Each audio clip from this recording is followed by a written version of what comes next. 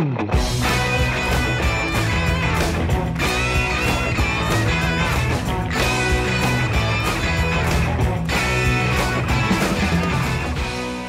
dear listener, and welcome to the Gestalten podcast. My name is Martin Groschwald, and the Gestalten podcast, as always, is presented to you by Concept House, and this time by Concept House Design, your number one creative design, especially for the transportation industry, headhunting, and contracting source. So, if you are looking for a job at the moment, or you would like to fill a few jobs, feel free to get in touch on the description below.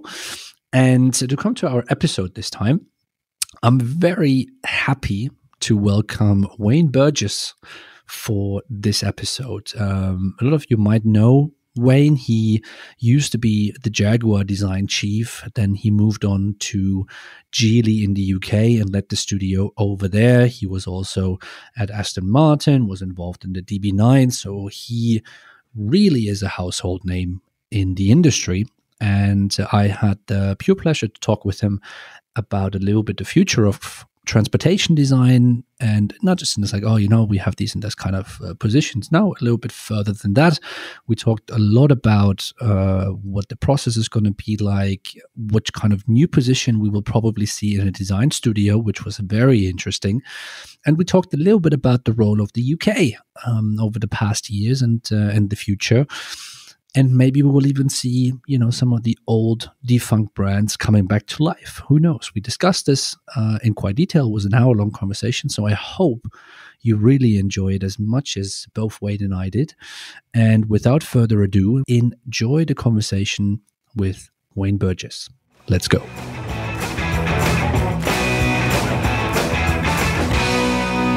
Wayne Burgess, welcome to the show. Welcome to the Gestalten podcast. And I do very much appreciate you taking the time. Thank you for joining me. It's uh, it's my pleasure, Martin. As you know, I uh, always enjoy a conversation with you. Let's let's see if we can keep this one to less than two hours.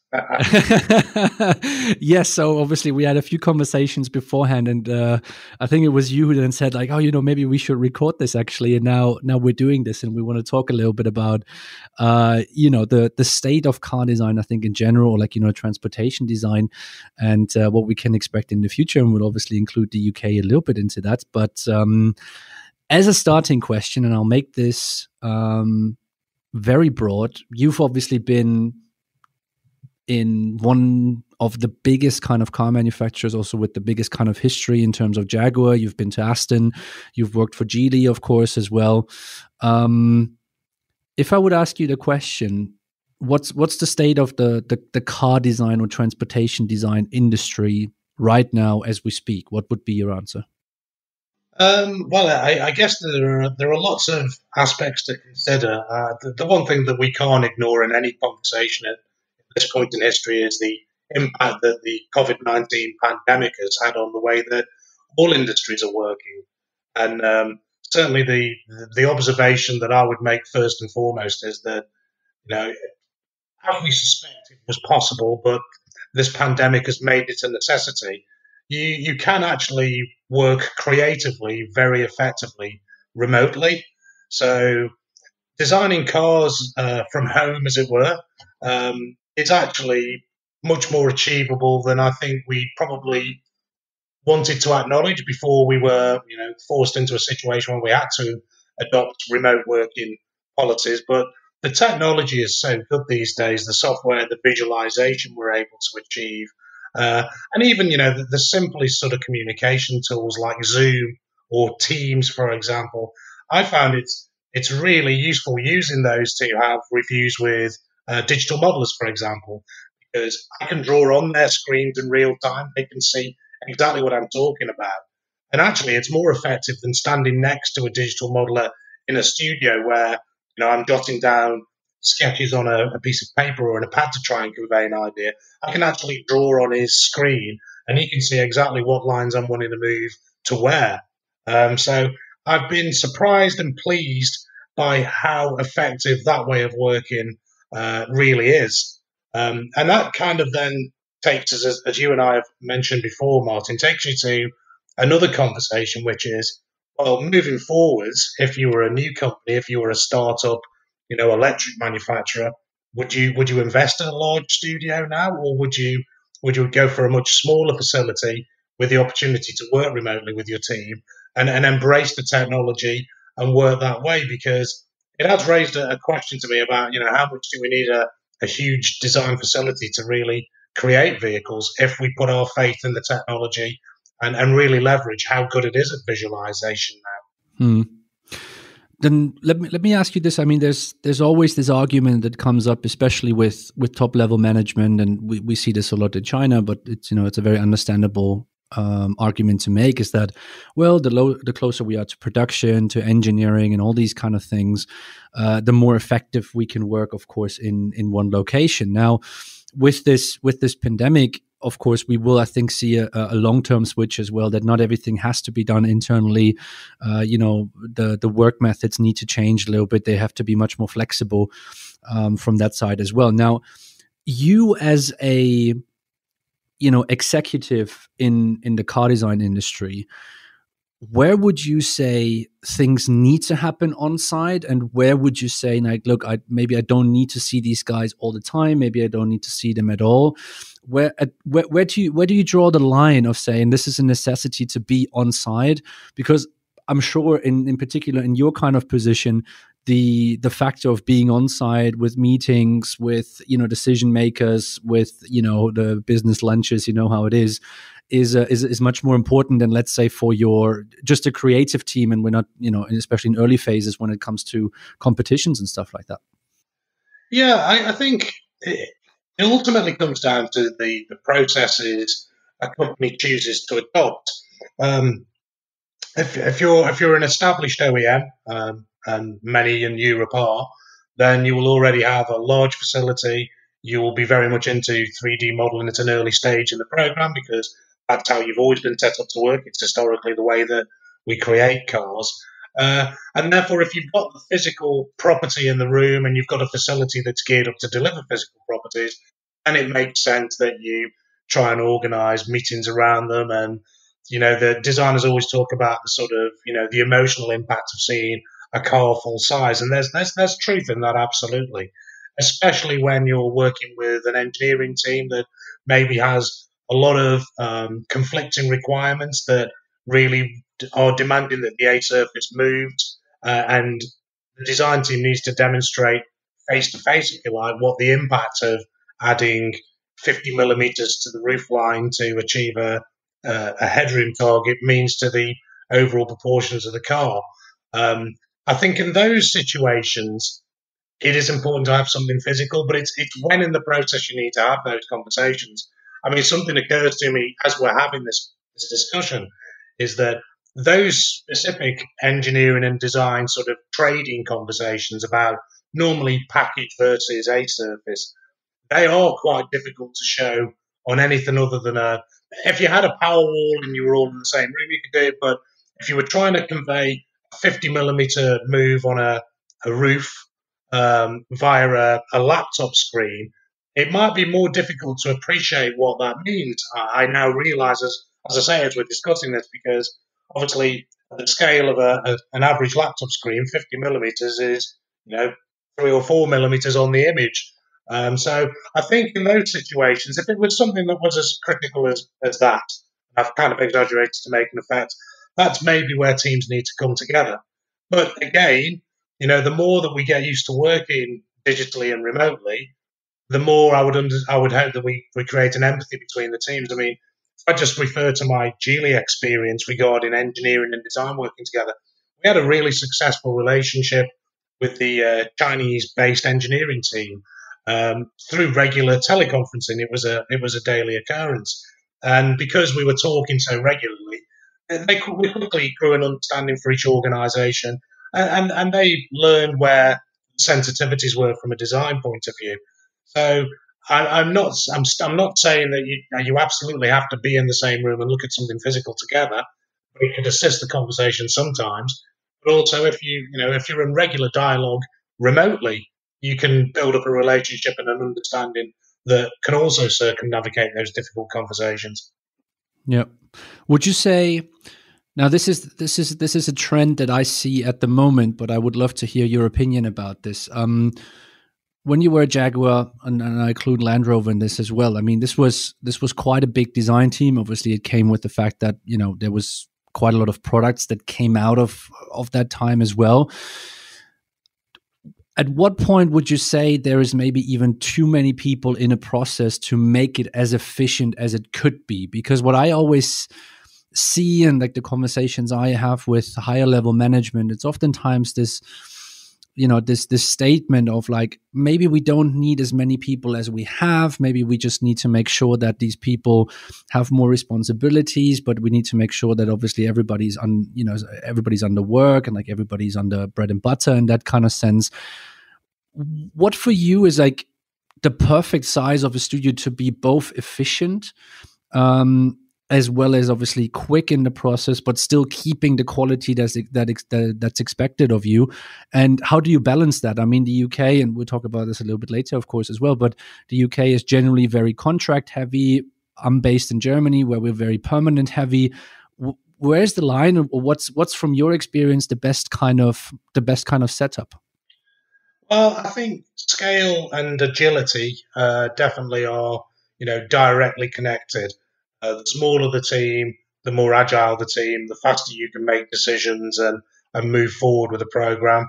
Um, and also, it, I guess it depends on you know where you where you draw the boundaries around the team in terms of delivering a car. You know, is it are we talking about just the, uh, the conceptualization and realization of a car to say surface transfer, for example, which is predominantly design activity, or are we talking about delivering a car to production, which of course then embraces a very big piece of engineering activity? Um, the, the, the, one observation I would make is that you find that companies grow and become larger by scale, they naturally have to have more processes, and the more processes a company has, the slower it tends to move, and the more people within the company seem to be focused on making sure that the processes are adhered to. Whereas smaller organizations don't have such a, a big number of processes written down around them, so they can they move through the process of creating a car much more quickly and, and easily. Um, for me, just going back to your original question, what's what's an ideally sized team? Um, I've worked with such a variety of, of, of, team sizes over the years.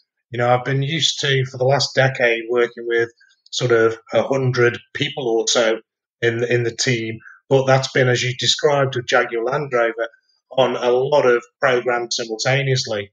Um, it's quite nice to sort of scale that back. I mean, I I think you could uh, you could deliver a, a car.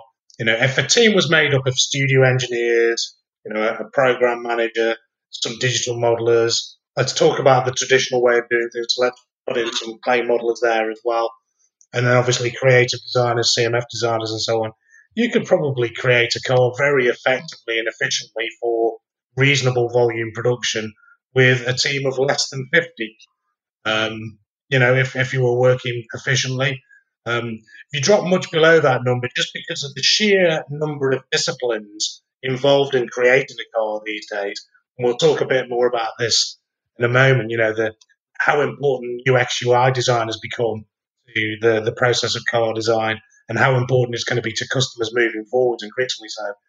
You know, it's not like when I started designing nearly 30 years ago, where you basically needed an exterior designer, an interior designer, four clay models for the exterior, four clay models for the interior, a couple of studio engineers, and a color materials designer, and off you went. Um, it's we're not in that world now, and the product isn't based around those very simple building blocks. The you know the the user interface, the, the ecosystem around a product is becoming so important now that you quite often find that the biggest team in a design studio is the UX UI team. Mm. Do you think that because of this implementation of UI UX, like a general kind of experience that the the car itself should represent of the company as well, that the role of the let's say transportation designer as we know it right now with the split of exterior interior will change um, so that we let's say have not this traditional kind of exterior interior split anymore. Maybe of course for specialists i mean you will always need the specialists to really understand to bring something into production the tooling and everything that is involved but um, do, do you think that especially you know kids coming out of school right now should should be more multifaceted in terms of what they're doing uh, in particular in this in this, in this full context of what, what how complex car design is nowadays? Oh absolutely martin. I i, I totally agree. I um I think we're already seeing that uh, not only from the, the you know the, the transport solution as a product in itself, but also from what new generations of, of transport consumers want from a product. Um, you know, the importance of ecosystems. Let's talk about that first and foremost.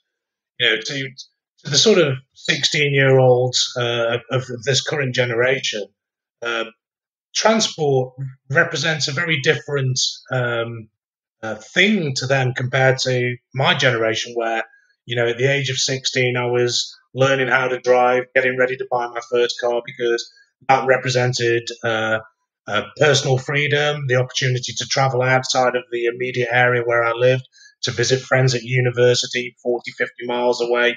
It represented independence. It was a little bit of a rite of passage into adulthood.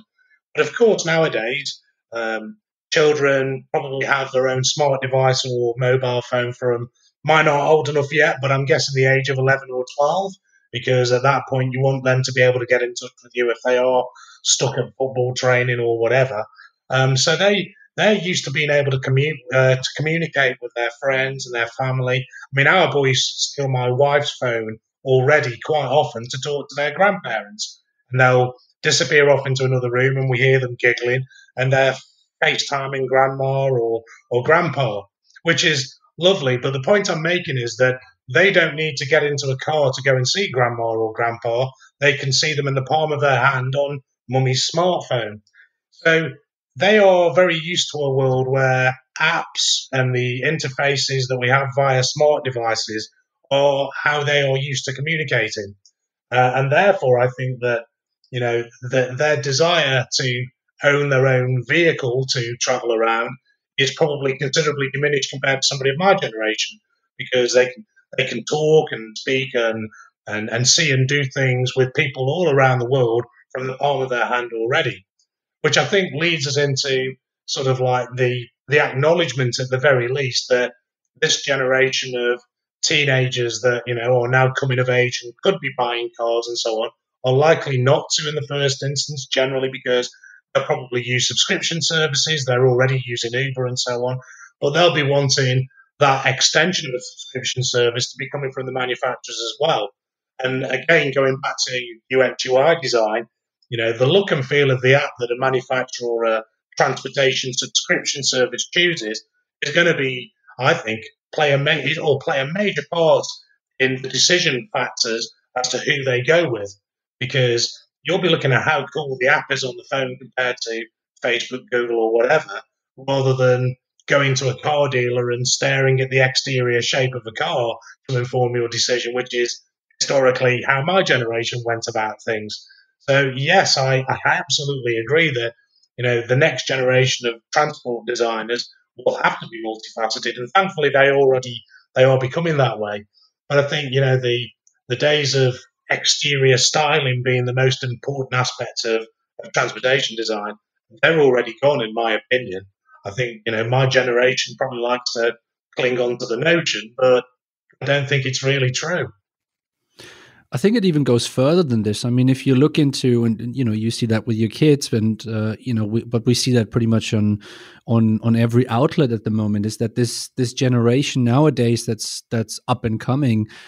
they they look at things differently you know we have friday for futures which is a which is a youth group pretty much like you know i mean it's somewhere between 12 to probably 30 um, that look into environmentally reasons. Um, we, you know, have young people using scooters rather than any kind of rental cars or something like that. So I think, you know, having that in mind, I think what what what's going to change for the future of car design uh, or like you know transportation design in general is a much more you know cohesive and coherent approach to what it is i think the designer of the future which for me personally is a good thing. Will be fewer really professional you know transportation designers because i think at the moment we just have too many.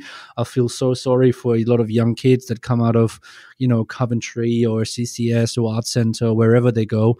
And it's so difficult for them to find a job.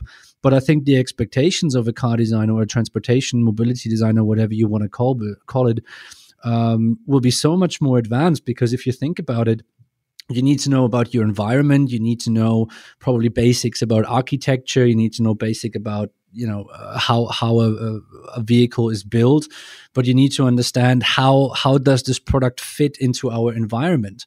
How does this product fit into you know a certain kind of sustainable thinking process uh, in the future as well? Because this generation that's coming up now you know it's not just about the electric vehicles or like uh, hydrogen it's about much more than that. It's about materials, of course, as well. And uh, that's something for me where I see uh, the change process becoming very radical because you know this general kind of oh you know here's a great exterior guy and you know some really cool sketches uh, will not be you know sufficient anymore i think a lot of people in your position in the next five to ten years will ask the questions like and you know what does this to our environment uh, i don't think that you know uh, the especially the car companies will be in this kind of position that say like look we tell the client or you know our customers what what we think is right but uh, the question will be what what can we produce and what can we build that fits the environment that we want to be in? And i think from a creative perspective that's going to be a fantastic challenge.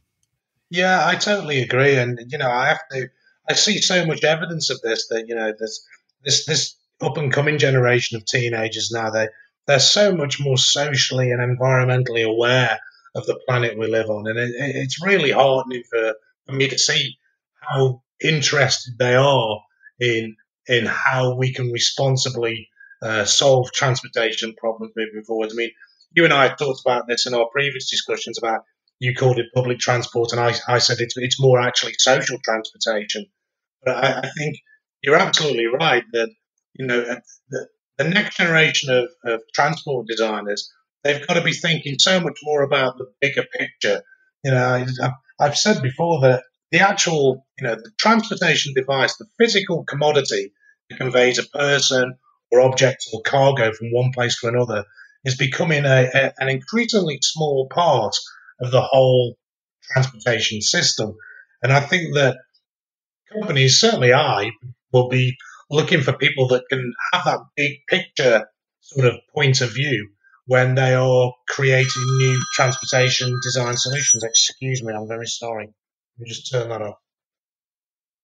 Um, so yeah, absolutely, and I think you know you mentioned that um, kids are jumping onto scooters rather than buying cars and so on. Well, that, that's an interesting point right now as well, isn't it? Because we knew that sort of personal mobility was already accelerating rapidly before the advent of the pandemic that we're experiencing. But I think uh, this, the, anxiety that exists right now around using public transportation and the need to socially distance will further amplify that growth in personal mobility solutions. And I think you'll see a big rise in sort of hopefully very novel personal mobility solutions in the form of e-scooters and e-bikes and so on. Uh, I'm quite excited to see what we can collectively come up with as a as an industry uh, in those areas. It's something that's kind of it's on my mind a lot right now, Martin. About you know what would I want as a personal mobility solution?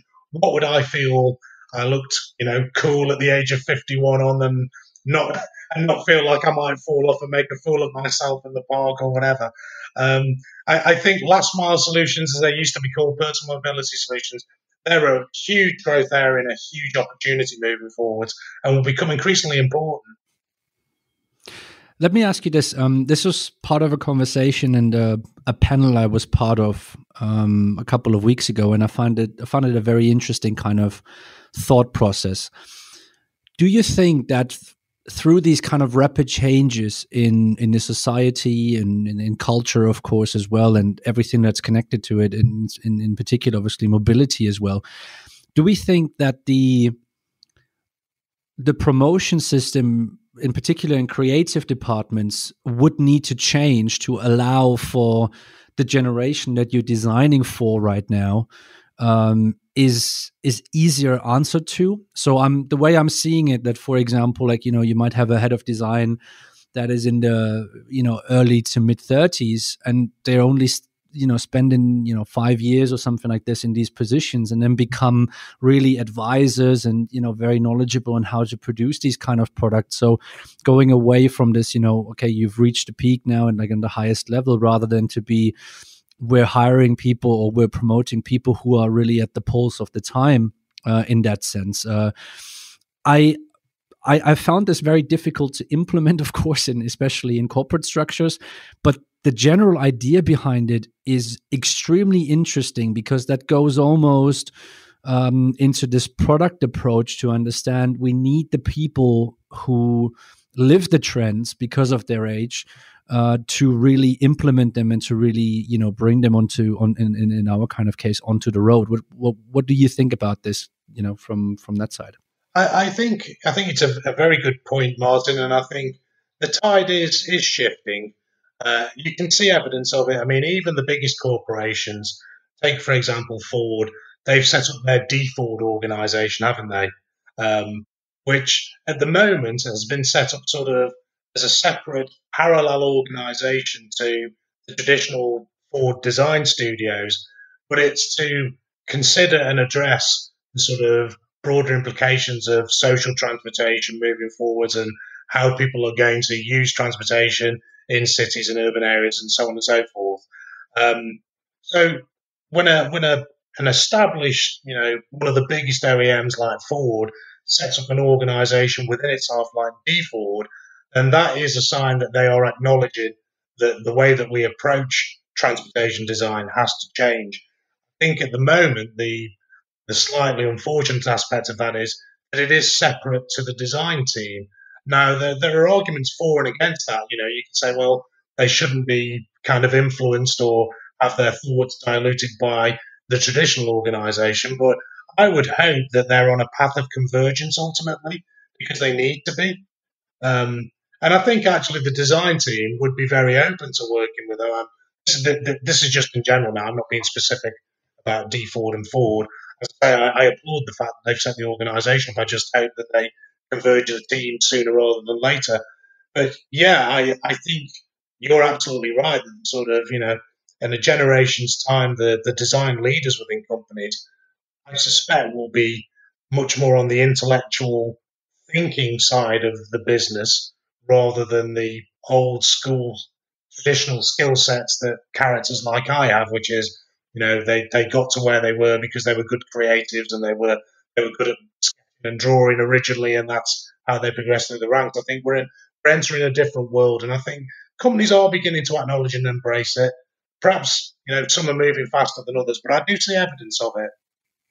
Yeah, how how do you think heritage and tradition fits into all of this when we talk about the future? Because you know, for me, it's like we're just to give you a little bit of an idea of like you know my my thought process is um, if I look here in Germany, you know, there's a lot of criticism about Volkswagen, for example. It's like yeah, they need to change, they need to become much more, you know, techy in that kind of sense. But then again, it's very difficult for these companies to change. A because they're just so massive, so change takes a long time, of course. Then B, of course, politics play a role. You cannot just, you know, fire 50,000 people and hire 50,000 new ones just because you want to change something like that. So heritage and tradition when we talk about you know uh, subscription services when we talk about service approaches in general um, you know can be very difficult now uh, the UK system works a little bit differently. There's a lot of contractors in there, you know, the uh, especially compared to Germany. Of course, the, the the employee protection is not as strong as it is over here. Um, but where, where do you think you know the heritage and tradition is actually a plus, but also where could it be a big hindrance, especially for this next generation? I mean, you know, um, if, if, I think about Jaguar, you, you think about E types, you think about D types, and you know, like this is where how far you can go back, and everybody knows about it. But does that even matter in the next 15, 20 years? It's it's an interesting question, uh, Martin, and I'm I'm sure that many of my friends and ex colleagues at uh, Jaguar Design agonize over that on a a daily basis now. I think the the certainly the only way that I could sort of um, reconcile it in my own mind is that you have to go back to the the core mark values that the brands were f- founded on. So you know, um, if you take away the aesthetics of of the products and just look at the values that led to their creation. So in the case of Jaguar, you know, in the 1960s, which is still arguably their, their golden era or the era era when they were most progressive, uh, they were actually engineering innovators. You know, the invention of the disc brake, the uh, embracing of the monocoque body with the E-type and so on. It was it was actually engineering innovations that just so happened to come wrapped up in gorgeously designed bodies at the time. Um, so I think if and, and maybe maybe this is too generic a comment to make because you you would argue that a lot of car manufacturers say, well, we were innovators and so on and so forth. But if you do use those kind of cornerstones of what the brand was founded on as your basis to move forward on, you know, the innovation that leads to problem solving will ultimately lead to how you provide you know more social transportation solutions within the context of a specific brand. I think that's how they have to approach it. What it what it won't mean, Martin, as we both know, is you know creating autonomous vehicles that look vaguely like an E-type because that would just be crass and, and redundant. And that isn't, I'm sure that isn't what anybody intends to do. Um, but I, I, think they will have to embrace sort of, you know, the values that made marques great in the first place, which is be innovative, you know, lead in the areas that you can lead in, and, and also understand where where a brand's elasticity is. And that's that's very difficult for a lot of, of traditional brands to do to, understand by elasticity, I mean, you know, just how far can you take the brand in any direction before it just doesn't work in the segment you're trying to position it in? Uh, Mercedes uh, have the most elastic brand in the world, as far as I can see, and as much that they credibly and successfully make trucks at one end of the scale to Mercedes A classes and, and smart cars at the other end of the scale, and then you know AMGs and CLSs at the other end, and of course the the, the dominant S class. They they can stretch that brand in any direction, and the and the brand works, but that doesn't work for all brands. Uh, you know, and if as a as somebody that still loves the Jaguar brand passionately, um, Jaguar has struggled to be so elastic when it's tried to do these kind of things. So I think it's it's going to take a lot of internal reflection and and just being kind of honest about the opportunities that are available for the established brands. Um, you're right. The the sort of contractor working versus um, permanent staff working in the UK versus Germany, that may give brands some more flexibility to rescale and so on and, and rehire.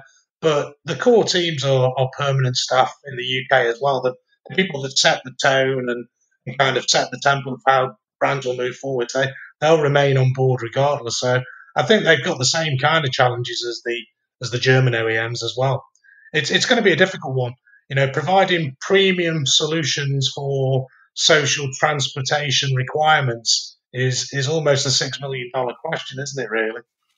Yeah, and uh, and I think it it's something for me is where really design leadership needs to stand up as well because it's also about understanding you know the business and emotion uh, to put it like this. Uh, when when it's about services when it's about you know what kind of changes can we drive forward i think the design department throughout everything and you know all all all, all departments in an, in a manufacturer would have so much insights. I mean like this is this is something for me is like the design department is connected with almost everything. And it's connected with i would say the most departments overall compared to the the rest of the company. And if you have that kind of ability you know it's almost like you need within this creative department almost what i would probably call like a you know a business designer. So people who understand the idea of what could the company be? And uh, you know i'm you could call it a think tank you could call it an innovation hub or something like that but generally speaking like that creativity and that the design department should evolve not only in the idea of you know we have a haptic product we have a physical product but also you know what can design do to to build new business areas and and really show as well like how you know an entire design language, and this can then you know go from 2D to 3D to apps to everything that you can imagine. Um, is uh, is consistent with the with the plan because I think that's sometimes a little bit missing, you know, and that a lot of creative designers, and I'm, I'm now speaking a little bit more broadly, not just for the transportation design industry, forget that there's a business behind it um, because of the the nature and their, let's say, you know, fortune that they're allowed to work in a creative environment. But if we in, in implement this kind of business thinking into the design department, you know, it might it might also inspire the physical designers to to think differently about the products that they're working on. And and this is something for me fundamental like in terms of developing uh, companies that uh, you know these ideas have to come from somewhere and oftentimes they come from external companies you know just like hey you could do this you could do that. But um, I, I, I always believe or i'm a very very strong believer that the best ideas come from the people that work in the company because the emotion of you know pushing it onto the next level is the strongest there. And the emotion that you want to portray towards your user um, you know is is the strongest that when it comes from the people that are actually working there because they know they know it best. Yeah absolutely. You need you need you need invested characters that have a passion for the brand to to push these ideas through but you also need those characters to be realistic and and acknowledging of of the changing world we're in as well don't you? So that they they don't kind of doggedly stick to some of their kind of preconceived ideas about what the brand should be if they don't apply moving forwards. You know, as, as I say with, with premium brands, it's it's about how you can extend the, the, the luxury experience around a subscription service moving forward. You know, the, the, the creative thinking for me right now has to be as much focused on, on that. What is the offer?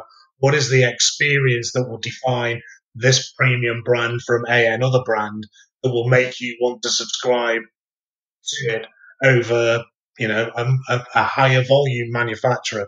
You know that that's where the thought needs to be focused. And as you say the collaboration between the design teams the marketing teams the communication team the research teams it really has to be very very very well integrated to to make the most of the opportunity that we have now because we're in such a transitory um, situation in the world of transportation design right now.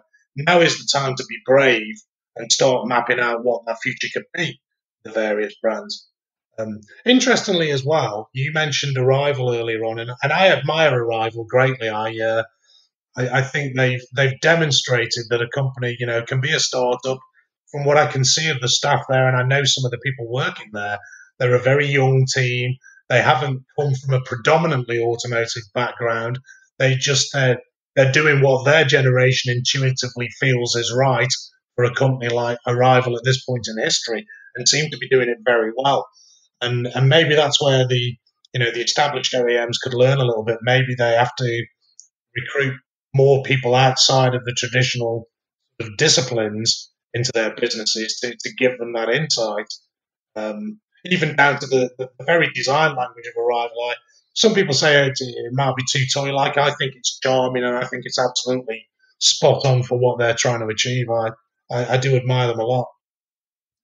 Yeah, and I mean, look, this is this is the thing for me is like where I think the uh, the challenge for the UK market lies, and uh, you know, regardless of uh, political things and COVID at the moment, but we have on the one side we have Arrival. Of course, we had Dyson, um, which uh, which James Dyson then uh, then stopped as the project itself. But there's certainly a lot of enthusiasm and uh, you know and push from from the from these new kids on the block as well.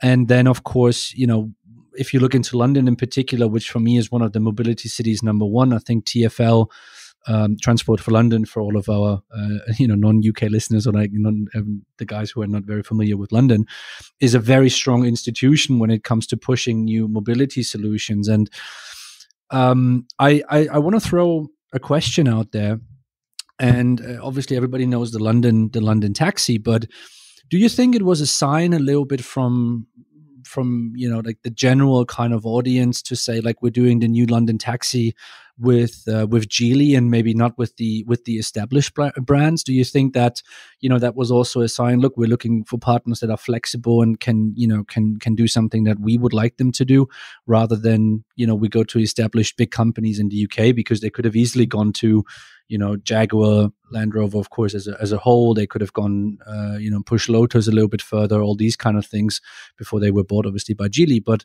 is do you think that's a little bit of a sign, and like you know, where the industry in the UK is going right now with uh, with the example of the London taxi?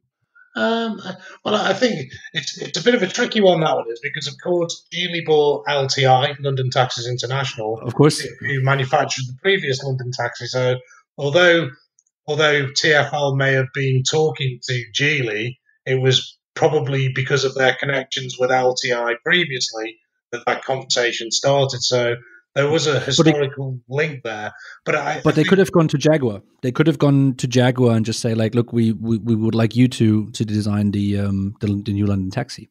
Yeah, yeah, but I, I think my kind of take on it would be that I think what's very good about Transport for London is that they, they've taken a very total view of how transport in London should look and feel and how it should, you know, how the street furniture should work together in London. And, you know, the, the latest Route Master buzz obviously was inspired and, and clearly can be seen to be by the original Route Master. And in the same way, I think that TFL wanted a taxi that would be recognizably related to its predecessors because they considered the importance of of that aesthetic on the streets of London. You know, a bit like the red telephone boxes, Buckingham Palace, etc.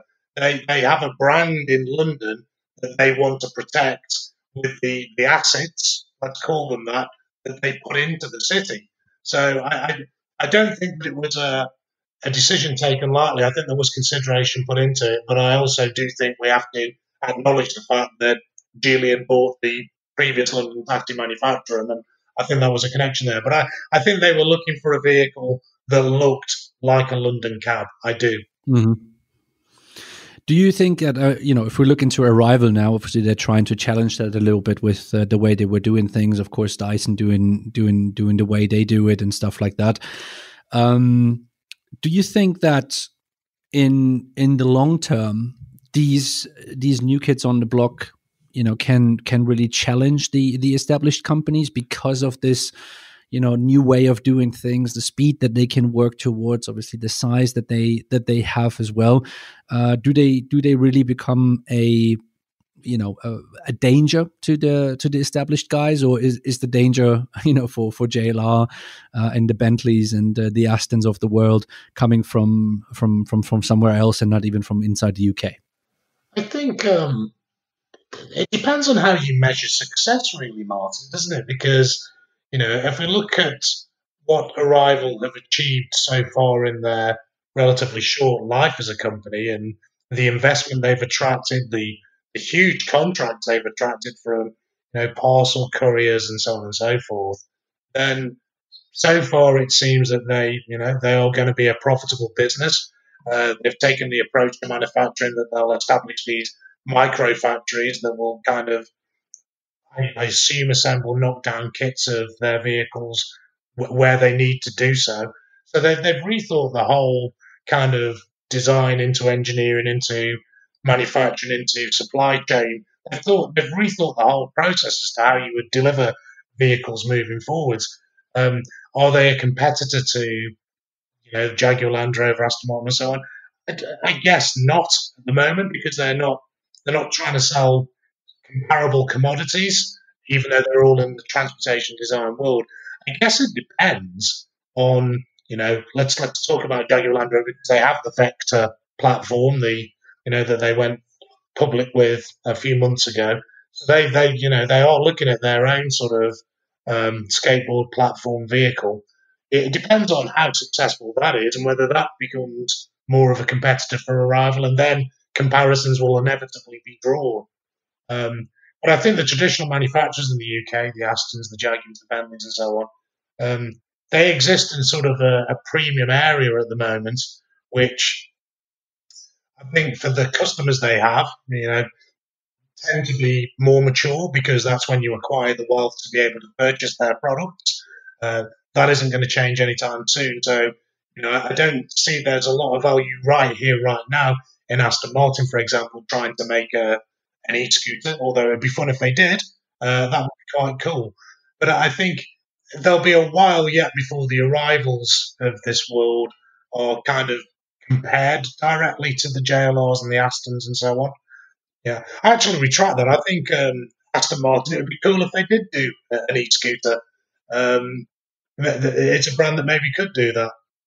Um, but yeah, yeah, I think. Sorry, sorry.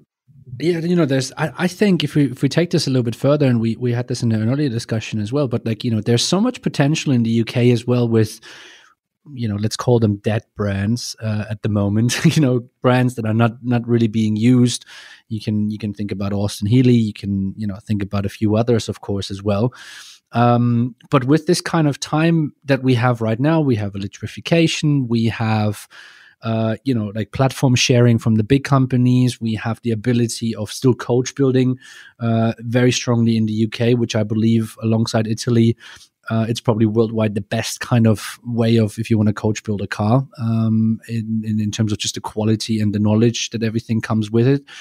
Do you see um, in Germany, we've had you know Borgward being resurrected a few years ago. Do you do you see that there's enough potential to resurrect one or two of the old brands um, in you know in the UK, or would you say just like you know leave them be and uh, let's start something from scratch to not carry out this heritage because it's almost like it would be a shame to not do something with them, but at the same time to to do something new, it's almost better to leave them to leave them in the grave. Yeah, I think well there's there's two two parts to that question, Martin. That I'll, I'll, I'll answer separately. I think moving forwards, the the the skateboard platform as a commodity, I think we might find ourselves in a situation where there are a couple of dominant suppliers of those platforms, potentially, that then would open the door, and I'm hypothesizing here, would open the door for coach building companies or smaller brands to then put their own bodies onto those skateboard platforms for whatever uses they saw fit, whether it was a you know um, whether it was a, a, a subscription taxi or whether it was a two seater sports car or whatever it might be.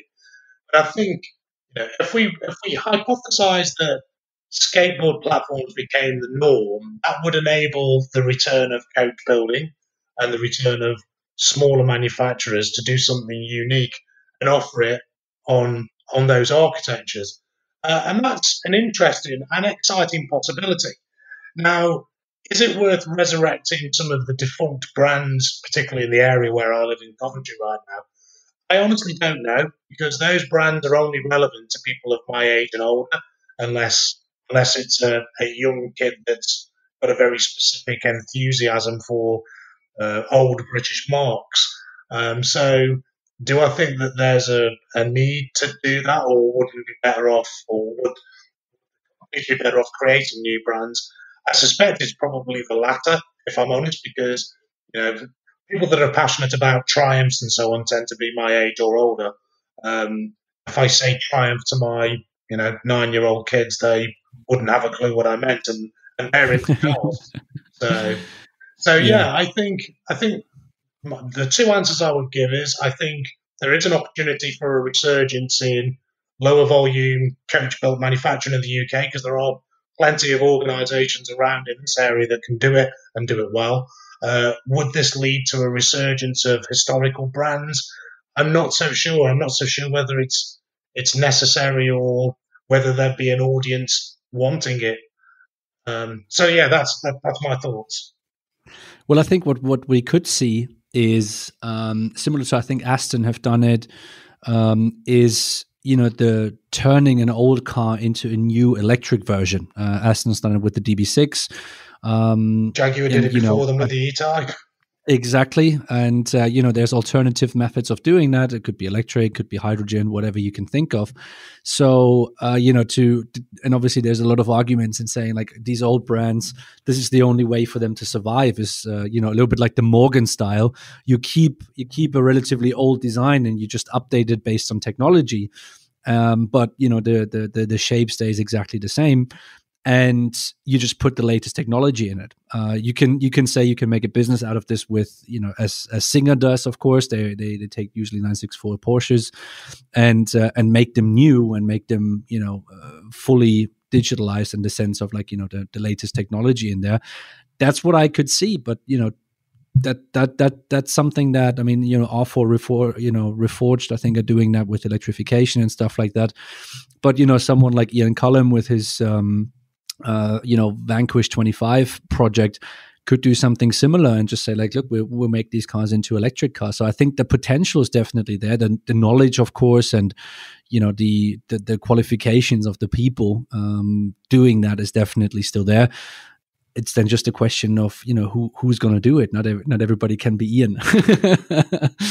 and again, Martin, I think it's also you know how big is the market for those vehicles? Because it. Oh yeah, exactly. Yeah, you know, it, I mean, the cars like that are, are high end and high high value, so they're exclusive by definition. So there will be some people that want it, and there, there, are, as you say, there are lots of companies now converting classics or remanufacturing classics with electric powertrains. I personally find it quite fun, and I, and I certainly, if you if you pardon the pardon the pun, I have no resistance to electric classics at all.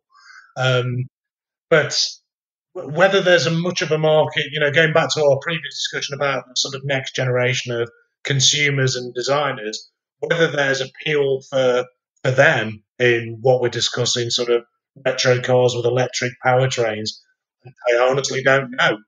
Um, you know, there's another company, Charge, in the UK, isn't it, which is electrifying late 60s fastback Mustangs with carbon bodies, which again look pretty cool to me. I, I, I kind of get it, but I don't I don't know what the size of the market needs to be for companies like that to to succeed. I, I don't know. Um, yeah, it's it's also the question of how much they cost. I think you know it's uh, you know if if you only produce ten or fifteen of them, but they cost like half a million plus, then you know you have a very limited amount of um, of people. But if you if you start let's say offering electric e-types for a hundred grand i mean you know there was like what 70000 e-types built back in the back in the 60s and 70s um, that that would be a completely different kind of yeah. you know yeah. uh, attraction point i think yeah. it's it's it's this kind of accessibility and, and and I agree. I think you know a lot of a lot of young kids if they if they grow up with electric cars and they see old cars but electrified they would love to have that. I think you know it's it's this is the kind of passion. It's not just about the engine anymore. Um, for a lot of people it's about the shape. And if we can main if we can keep the shape in the public picture I think uh, then then then that would be a fantastic kind of idea moving forward. But you know, it it, it de- depends on the young the young kids if they wanna if they wanna have that like 15, 20 years from now, or if they just say like, hey, if I want to have the real deal, I you know I, I want to have the smell of oil and petrol uh, when I'm sitting in these cars. yeah, and uh, who who knows uh, how that conversation will go. I mean, clearly there are a lot of kind of very very low volume manufacturers that are or investing in the electric classics um, market at the moment. So we'll have to see. As I say, personally, I think it's a lot of fun. Um, would I buy one? I, don't know. I guess it depends on how much money I've got floating around to to sort of indulge on something like that. But yeah, we, we would have to see. But yeah, it's if if we're looking at the sort of next generation of car consumers, the teenagers that that are kind of getting to an age where they can have their driving licenses now. I do wonder what would appeal to them because all the evidence is pointing towards the fact that they're much more likely to go for subscribed services, isn't it? So I think the immediate challenge for us as designers in the, in the car industry is, is, is to how how to make a, a total service appeal more than another to a teenager that doesn't want to own their own car, for example. Uh, I think that's the bigger challenge right now. Exactly, and um, I think this is the, the, this kind of challenge should be something for us to discuss maybe in part two uh, of the podcast because we've been in it for like over 50 minutes already and uh, we need to make sure that you know we, uh, we, we we don't keep the people for too long um, as we know. An hour is usually the best kind of time to listen to uh, you know guys like us. But before i let you go and uh, I, I, will come back to this question of like you know um, if you would have any money what car would you get? So don't don't you worry. Um, every guest on the show is going to get three questions, and uh, you will get them as well. There's no way of getting around that. And my first question to you is the following: um, Which project that you did not take part of would you have absolutely been? You know, would you absolutely, love to be part of? And uh, this could be anything; doesn't need to be a car. Okay. Um, Oh, in that case, it would probably be architecture. I would have loved to have been part of Zaha Hadid's team on something like the um, the uh. She's done so many brilliant buildings.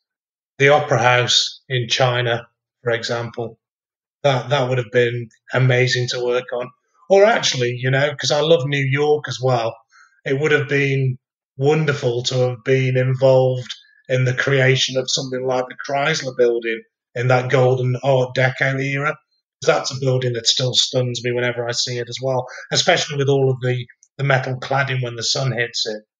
So, yeah, uh, being involved in the in the creation of a significant building, be it historic or otherwise, that would have been something that I'd have liked to have done. All right. Question number two Which designer, and this can again be anybody, you don't have to, you know, have had the experience to work with them, has had the biggest influence on you and your career? From a very early age, I was hugely inspired by Giugiaro. Uh, and I've owned what I love about Giugiaro is he's done some stunning supercars but actually his best work has been the high volume, affordable, practical cars. So first generation Golf. I'm a huge Lancia Delta fan. I had three Integrales, an HF turbos, and HF all-wheel drives before that. I've had Golfs as well. Uh, I just think that Giugiaro, he's been able to design the most affordable cars and the most exotic cars, and he's done it so successfully at, at both ends of the scale. So he's he's been the biggest inspiration to me, and he was one of the reasons I wanted to be a car designer. Last but not least, and this is uh, you know coming back to the million dollar question, of course. If I would give you a blank check, which one car would you buy? Ferrari 288 GTO. that was quick. Uh, and I think I, I actually think that was the quickest answer we've ever we've ever had for this question. it's it's an easy one. It's just I remember it coming out when I was 14, 15 years old. I, I previously loved the 308 GTB that it was derived from. I remember seeing a Pininfarina advertisement in a yachting magazine that the the local dealer of the um, the local Rolls Royce dealer where I grew up in Stoke-on-Trent. He was a friend of my uncle's, so he used to bring home these exotic yachting magazines with Rivas and such like in them. And there was an advert for Pininfarina in there with a silhouette of the 308 GTB, and it would have been about 1977, I'm guessing. And I was just awestruck. So again, that was another memory that got me into cars. Uh, and then when they produced the 288 GTO, which is just you know, it's a 308 GTB that's been to the gym. Um, it, I just love that car. And it's just stayed with me whenever I see when I turn back into my 14 year old self and just I remember building models of it. And yeah, yeah, just love that car. And what would be the color of choice? Would it be red or yellow? Uh, red for me. In the we case of the GTO, funnily enough, when I owned a 308 GTB, I had a silver one because it showed the design off to best effect. Yeah, yeah, yeah, yeah. But yeah, cool. I read I read 288 GTO, please, Martin. If I if I have that blank check, I'll let you know. I'll send you a text message, and then we'll we'll, we'll go shopping together. Uh, but uh, yeah, Wayne, it's been a pleasure. Thank you very much for taking the time. It's been almost an hour, and I I, I really appreciate it you know you you uh, you sharing all your thoughts with uh, with all of the listeners. Thank you very much. No, it's been an absolute pleasure, Martin. Thank you. Thank you so much for the invite. Uh, I always enjoy talking to you. You know. You're most welcome. And uh, to all of our listeners, we hope, uh, both Wayne and I hope, of course, that you had uh, as fun as we did with the recording of this episode of the Gestalten podcast. And as always, if you follow us slash listen to us on iTunes, uh, do not forget to give us five stars because that helps to push us up. If you listen to us on any other platform that has a rating system, the same goes for this. And uh, yeah, if you have any questions uh, for Wayne, we will, of course, link his profile, his LinkedIn profile onto the show notes so that you can get in touch with him. But uh, for now, that what is was it from us. Thanks for listening, and you will hear back from us in a couple of weeks' time. Take care.